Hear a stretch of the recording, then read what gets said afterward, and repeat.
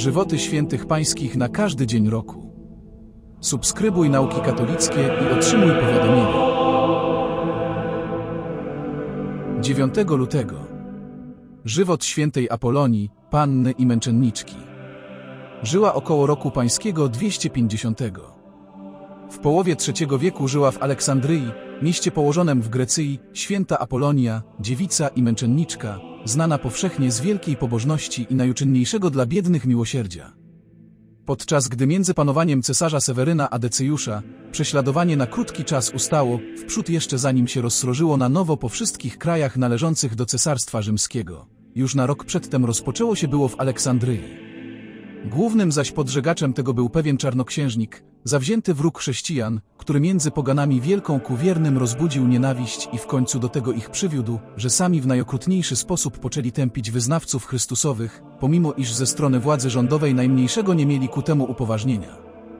Pisarze współcześni, a zwłaszcza święty Dionizy, będący podówczas biskupem aleksandryjskim, donosi, iż poganie z takim okrucieństwem obchodzili się z współobywatelami swoimi chrześcijaninami, jakiego dopuszczać się zwykli najwięksi barbarzyńcy na ludności, po zdobyciu jakiego długo broniącego się im miasta. I tak wielka już liczba chrześcijan w strasznych mękach śmierć była poniosła, a reszta uchodziła gdzie szło, kryjąc się po okolicznych górach, w celu zaś odprawiania świętych obrzędów po jaskiniach i lasach się zbierając, aby się na śmierć przygotować, której i tam nie każdy ujść zdołał.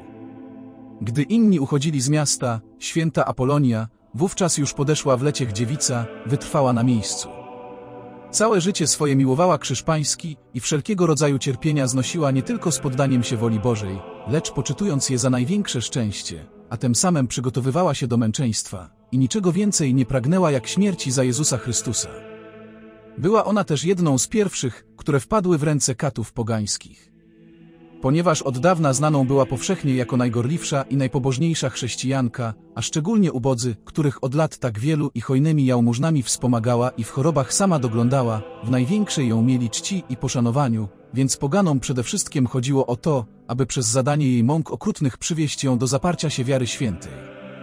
W piekielnej na chrześcijan zawziętości, cieszyli się bowiem tą myślą, że osoba tak już podeszłego wieku nie zdobędzie się na męstwo, do poniesienia śmierci męczeńskiej, a gdy tak pospolicie wysoko cenioną chrześcijankę uda się im przywieść do przeniewierzenia się Panu Jezusowi, łatwiej sobie już ze wszystkimi innymi poradzą.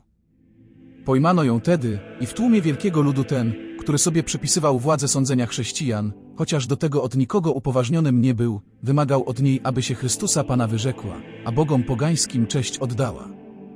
Na to odpowiedziała mu Apolonia, iż bogami pogańskimi gardzi, a jednego Jezusa Chrystusa Bogiem wyznaje, któremu taką cześć wszyscy oddawać powinni. W ten czas rzucili się na nią poganie i zaczęli bić tak okrutnie, że w twarz ją uderzywszy, szczękę jej złamali. A gdy święta mimo to przy wierze mężnie trwała, zadali jej jedną z najstraszniejszych mąk, jaką okrucieństwo ich wynaleźć zdołało. Otóż wyrywano jej zęby jeden po drugim, w ten sposób wszystkie z kolei, a powoli wyjąwszy. Apolonia cierpienie owo mężnie znosiła, oświadczając zdziwionym poganom, iż taką napotkali w podeszłego wieku niewieście siłę, wytrwałość i męstwo, że nie tylko owe męki, ale i śmierć samą dla Chrystusa ponieść gotowa. Wyprowadzili ją wtedy kaci za miasto, na plac bardzo obszerny, aby tam większa liczba zebrać się mogła pospólstwa i była świadkiem albo jej śmierci, albo też odstępstwa, którego jeszcze się spodziewali. Gdy już na onem miejscu stanęła, zapowiedziano jej, iż jeszcze ma raz do wyboru, albo pójść na spalenie, albo odstąpić wiary chrześcijańskiej. Apolonia, wsparta łaską pańską, powtórzyła katom tożsamo, co już oświadczyła, gdy ją biciem w szczękę katowano, łamiąc i wyrywając jej wszystkie zęby.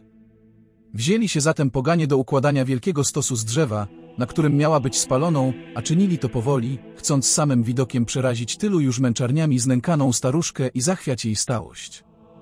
Lecz wszystko było na próżno, męki dotąd poniesione nie tylko nie odjęły odwagi Apolonii, a stos przygotowujący się w jej oczach na jej spalenie nie tylko nie osłabił w niej pragnienia męczeńskiej śmierci, lecz owszem w chwili gdy ogień podłożony pod drzewo silnie wybuchać zaczął, tem silniejszy płomień miłości Boga Ducha Świętego w jej sercu rozżarzał, tak że już dłużej czekać nie mogła. Poprosiła przeto katów, którzy ją w rękach swoich trzymali, aby ją wolną puścili, żeby zastanowić się mogła, co ma uczynić. Ci uradowani, przypuszczając, iż w końcu męstwo się jej zachwiało, Odstąpili od niej, a ona korzystając z tego, w tejże chwili z wielkim pędem pobiegła do ognia i na stos się rzuciła. Płomienie ją ogarnęły, ciało spaliły, a duszę gorejącą miłością ku Bogu, tenże Pan na łono swoje przyjął na wieki. Święta Apolonia, z powodu iż w poniesionym męczeństwie wyrywaniem zębów dręczoną była, jest szczególną patronką wszystkich osób, doznających bólu zębów. Nauka moralna. Istnieje wielu chrześcijan, którzy w nieszczęściu, smutku lub innych okolicznościach śmierci sobie życzą. Zdają się oni bowiem nie wiedzieć, że wszelkie utrapienia od Boga pochodzą, już to na ukaranie za grzechy, już też dla dostatecznego ich doświadczenia. Wszystkie zaś takie od Boga zesłane kary i doświadczenia prowadzą nas do nieba, jeśli je znosimy z cierpliwością i uległością. Bóg jest naszym najlepszym Ojcem, zatem nic złego nam nie życzy, owszem chce, abyśmy wszyscy byli zbawieni i szczęśliwi. Szemranie przeto na utrapienia jest grzechem i obrazą Boga. Życie i śmierć człowieka jest w ręku Stwórcy i On sam najlepiej wie, kiedy nas do siebie przywołać lub jak długo żyć nam pozwolić raczy. Wyroków boskich nie wolno nam zatem uprzedzać, lecz wszystko, czy radość, czy cierpienia, z uległością od Niego przyjmować. Wszakże i sam Zbawiciel musiał cierpieć, zanim wszedł do chwały swojej. Wprawdzie święci pańscy niejednokrotnie pragnęli, aby śmierć jak najprędzej nadeszła, ale pochodziło to z powodu cierpień i doświadczeń, chcąc tym samym jak najprędzej dostać się do nieba. Sam Paweł Święty mówi, jestem ściśniony we dwojga, pragnienie mając, rozwiązanym być i być z Chrystusem. List świętego Pawła do Filipian, rozdział pierwszy, wers 23. Chodziło tu o rychłe zobaczenie się z Bogiem, z Jezusem twarz w twarz, a nie o ucieczkę przed tem, co Bóg na człowieka zsyła. Niechaj więc nikt nie rozpacza w utrapieniach, niech je chętnie znosi, a niech pamięta, że kogo Bóg kocha, na tego krzyżyki zsyła. Gdy bywamy sądzeni, od Pana bywamy karani, abyśmy nie byli z tym światem potępieni. Pierwszy list świętego Pawła do Koryntian, rozdział 11, wers 32. Modlitwa. Boże, który pomiędzy innymi cudami wszechmocności Twojej i płeć słabszą palmą zwycięstwa męczeńskiego obdarzasz, daj miłościwie, abyśmy świętej Apolonii, dziewicy i męczenniczki Twojej, pamiątkę przejścia do wieczności pobożnie obchodząc, za jej przykładem do Ciebie zdążali. Przez Pana naszego Jezusa Chrystusa. Amen. Zapisz się do nauk katolickich i otrzymuj żywoty świętych każdego dnia. Link do zapisu w opisie filmu. Dla komfortu słuchania nauk zrezygnowaliśmy z reklam na naszym kanale.